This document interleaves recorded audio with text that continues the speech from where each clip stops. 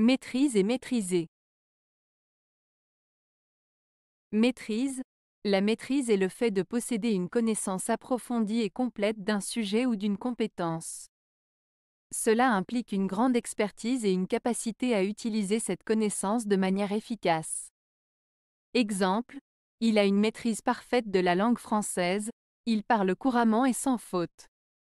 Elle a obtenu une maîtrise en psychologie, ce qui lui permet de comprendre et d'analyser les comportements humains de manière approfondie. Maîtriser. Le mot maîtriser est le participe passé du verbe maîtriser.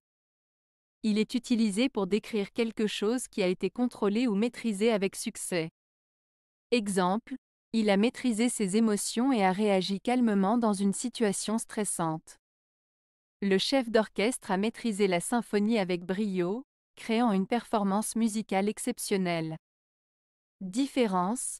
La différence entre maîtrise et maîtriser réside dans le fait que maîtrise est un nom qui décrit un état de connaissance ou de compétence acquise, tandis que maîtriser est un adjectif qui décrit une action réussie de contrôle ou de maîtrise. En résumé, maîtrise se réfère à la possession d'une connaissance approfondie, tandis que maîtriser se réfère à l'action réussie de contrôler ou de maîtriser quelque chose.